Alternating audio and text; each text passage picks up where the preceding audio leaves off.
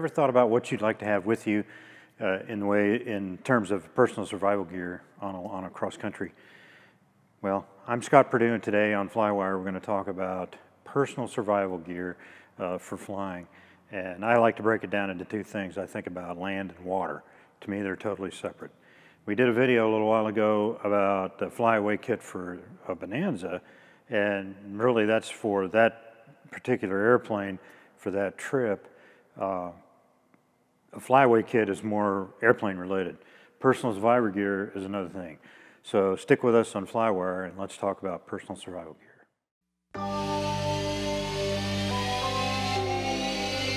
I break things down into personal survivor gear as uh, into two things, land and water. When we were in the Air Force in the fighter business, um, we had to uh, we had to look at both. You ended up carrying both of those things at one time, um, and they were all miniaturized and, and everything. And you had uh, kits in your seat uh, to carry all the survival stuff, and you wore a, a, vest with all kinds of stuff in it. And uh, then you also had a personal flotation device so in case you were in the water, uh, got into the water. And we only wore those for long, for over water flights and things like that. And sometimes you'd even wear a poopy suit, uh, for, call it an immersion suit, for really cold temperatures because if it's uh, really below standard temperature, somewhere in the 50s to the 60s, you're going to start to get uh, hypothermia uh, pretty fast. And then if it's really cold, you know, into the 40s, well, you've only got minutes to get out of your out of the water into a raft and lose you within minutes you lose control of your hands. They just become clubs. So the big important thing there is to get out of the out of the water into a raft but so I, I'd talk about two things land and water first off let's talk about water survival I think it's important to have if I'm flying over water I, I have this, uh, uh, my demarcation point really is, is if it's further than I can swim and I'm not that good of a swimmer, then I want to have uh, water survival gear or I just don't make that flight. So here's a couple of things I want. I want a life raft. This is a, a four to six person life raft from Survival Products. And uh, the, if somebody's flying with me, their job, sitting in the right seat, their job is to go out the door with this and then, and then we activate it. Uh, they, they get out of the wing, get out of the, off the airplane, off the wing, into the water, and then they activate the, the, the vest, or sorry, the survival raft. This is real important. I like to, I like to think that a four-person raft is really good enough for two people.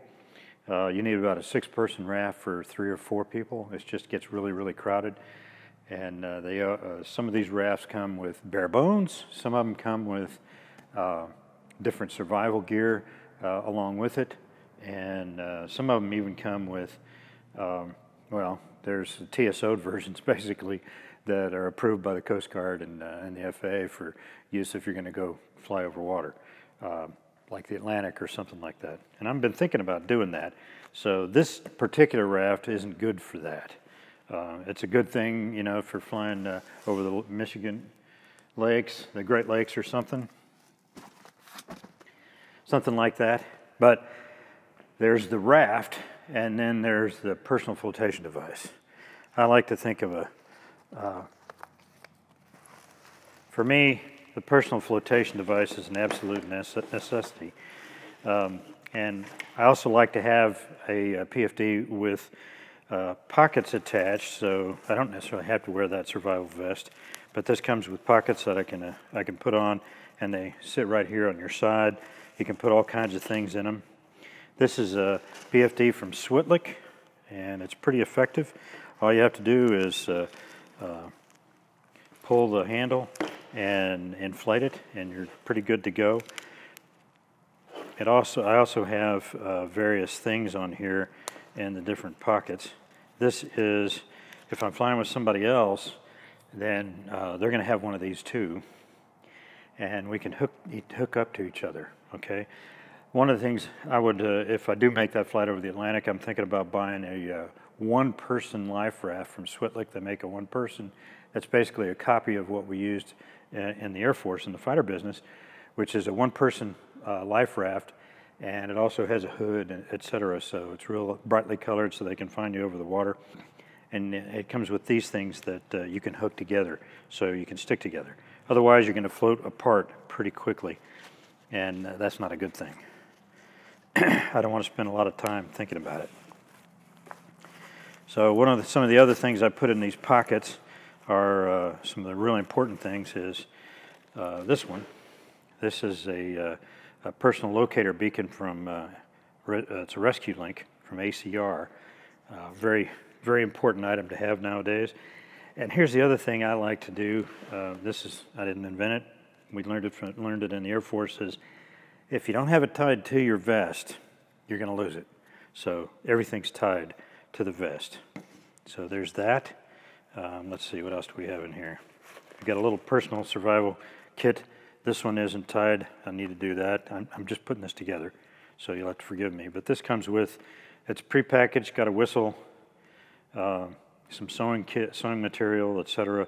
It's got a compass, um, all kinds of little bitty things like that, a space blanket, and a little something to read, instructions, and when you're sitting there bored in the raft or in the water. This is a really cool little device. It's a, uh, a uh, basically a signaling device that's a laser.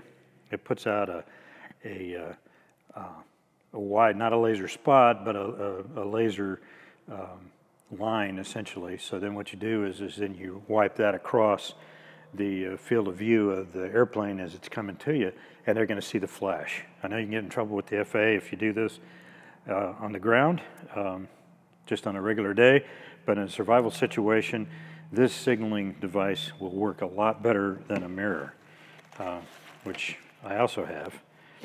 This is one, one of the things that I have left over from the Air Force. And this is a signaling mirror right here. And uh, you can figure out where the sun is and sighting through this thing right here or just figuring it out this way. and then you can uh, drag the flash of light over uh, across the airplane as you're going as you're looking at it. And uh, you can't really see it right now, but it's doing a pretty good flash over there on the on the wall. So that's that's uh, one of the other things I like to have.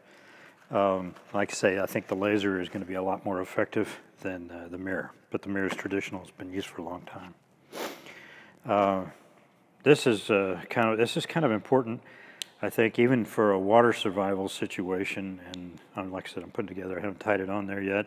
This is a knife, and it's a folding knife, so I don't actually puncture anything, but I can use it for a lot of different things. It's got a serrated uh, edge right there, it's super sharp, and I can use it for all kinds of things. It's a lock blade, so if I catch fish or something, I can, uh, I can uh, skin it and do what I need to to survive. This is a uh, signaling, it's a rescue streamer is what it's called. And uh, you attach it to yourself and then you throw it out. And what it does is it makes a, uh, an orange streamer that's easier to pick up off the water that's uh, about, uh, two feet wide and something like 20 some odd feet long. Can't remember exactly. But uh, they're going to see that airborne a lot faster than they're going to see your little body floating around, your little head floating around wearing uh, this device in the water. And uh, that'll get you rescued a lot faster. So this is uh, the thing about uh, water survival is things can happen so quickly that you're going to need to wear everything you plan on having. Uh, the, that carrying that raft out, that's kind of a, well, we might lose it kind of a situation. Um, I like to have the rafts tied to me some way. So as I get out, then I, whatever I'm getting into the water with, uh, that's what I'm expecting to survive with. If I'm wearing a poopy suit, an immersion suit, uh, for over the Atlantic or something like that where the temperatures are cold, I have to wear it. Okay, a lot of people I've seen do videos of it with it around their waist and uh, thinking, well, I can, because it's not very comfortable to wear, to be honest. But they're thinking that, well, I'm going to have plenty of time if I have to put the airplane down. And I'll put it on then, and then we'll get in the water, and, uh, and I'll be good to go. Well, the thing is, is it never happens. Um, you know, the, it's uh, human nature that you don't, you want to be more comfortable, But the problem is, is that when uh, the stuff hits the fan, you're just not going to have time to deal with that. You're going to be, your whole brain's going to be soaked up with uh, flying the airplane, you know, trying to maximize your time airborne, trying to find somebody to talk to, trying to get the thing restarted, all those kind of things before you have to worry about a ditching. And then I got to worry about the ditching. What direction are the waves? How big are the swells? How, what's direction of the winds? So where am I going to put the airplane down on the swell? That's a whole different uh, kettle of fish to talk about. And that's going to soak up most of your time, most of your thinking, and you're not going to have time to put that suit on. So when you get in the water, it's going to do you absolutely no good at all. So have it with you and have it on. That's the important thing. All right, let's talk about land survival. Land survival, like I say, is something totally different than water survival. I'm thinking I'm going to have time uh, if I put the airplane down. If I put it down in the mountains in a mountain ridge, well, I might lose some of my stuff because I'm going to keep it in the back. I'm not going to wear it. I might uh, change some of the stuff that I had in my uh, PFD and put it in a vest because I've still got a vest and uh, wear that so I have it on me. But for the major, the other part of it, um, I'm going to have it in a backpack in the back of the airplane, uh, with a couple of exceptions. Oh, long as I was talking about it, that ACR uh, is pretty good. Um, the ResQLink is pretty good. This is a spot, does the same thing. Uh, you can even send text messages with this thing, and uh, it's a subscription fee. That's another option for you. So land survival, let's talk about that real quick.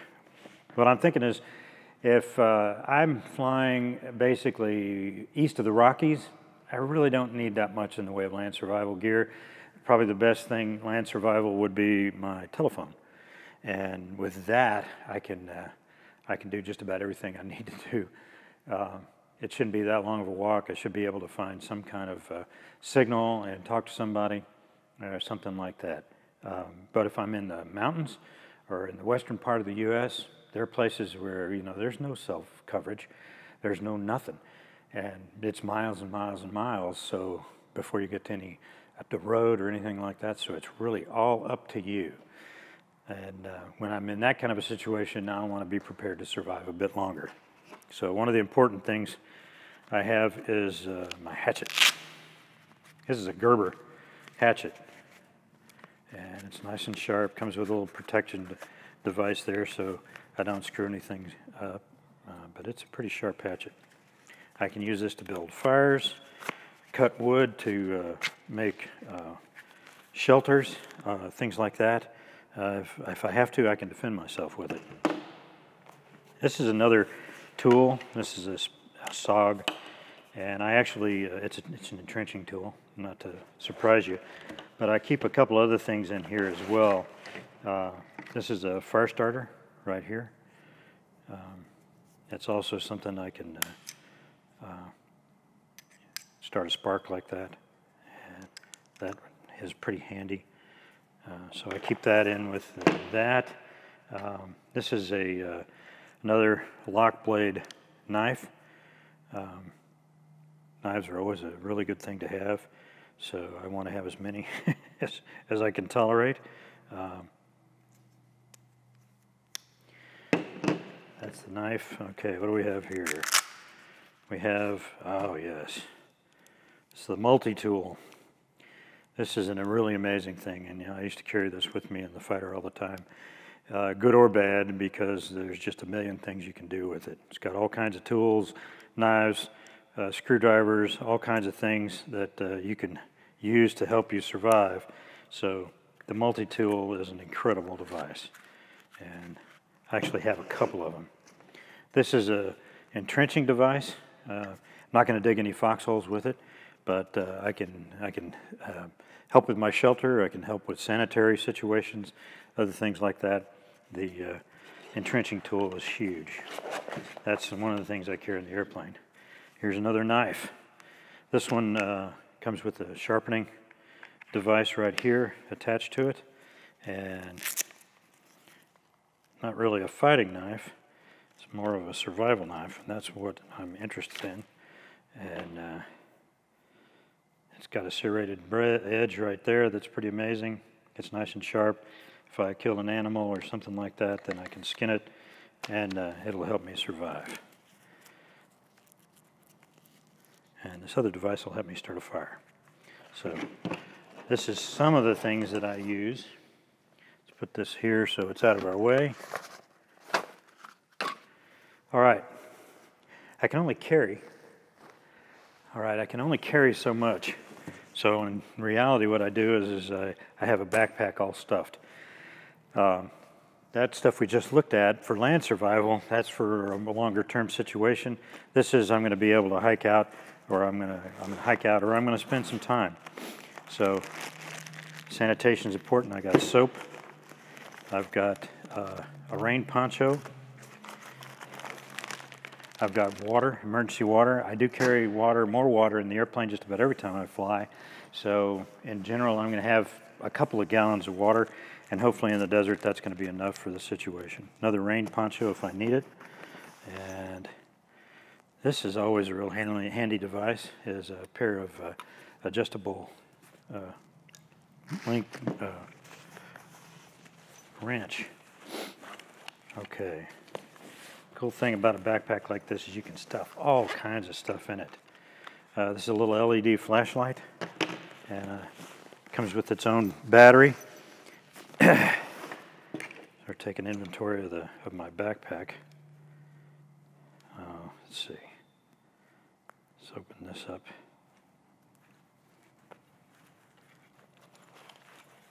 What do we have in here? Huh, another knife. This one has actually got a uh, big serrated edge on it. It's not more of a saw, so I can saw limbs and I can set myself up in a shelter or uh, set up uh, what I need for starting fires, uh, etc. And yet another multi-tool. This one's got a little bit different, but uh, like I said, you, these things are worth their weight in gold if you actually have to get down again and survive on the ground. What else do we have? We got a whistle, get somebody's attention. Carabiners are always a help. And this is a uh, sharpening stone, or I can uh, create some sparks with it. So that's all, all pretty good.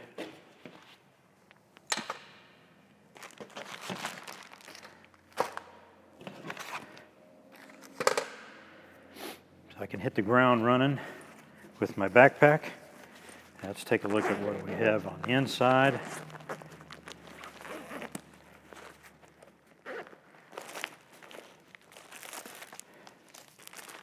These are uh, food. It's a couple of these things. Uh, it's like an MRE, the civilian version of uh, MRE, and uh, this is enough to last. There's enough calories here to last you probably five days. So uh, there's a lot of calories in it. You don't need it all. Um, but there it is. I've got food, I've got water, I've got toilet paper. That's huge.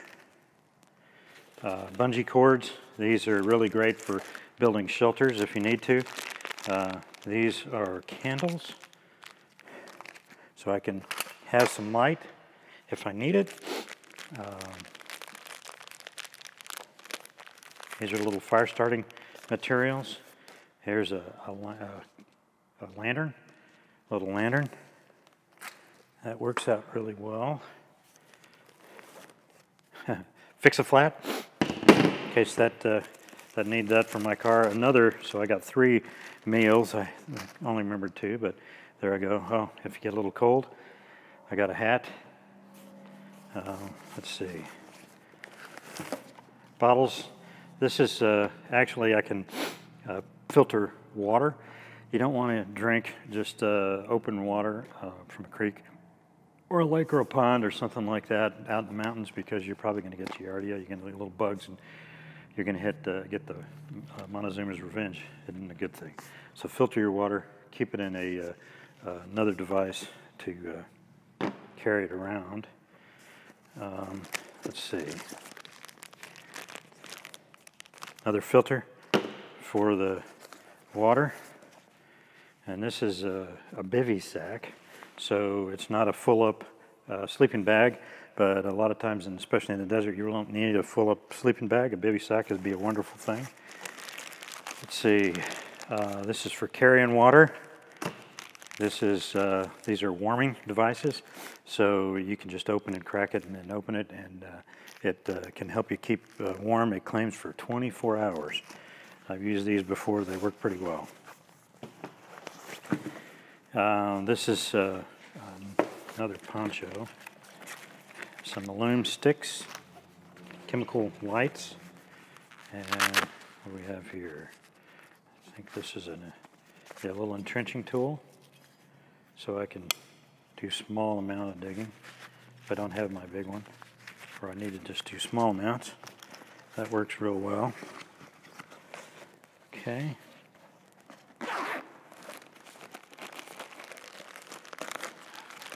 Got a flashlight, matches, spare batteries, all that kind of thing.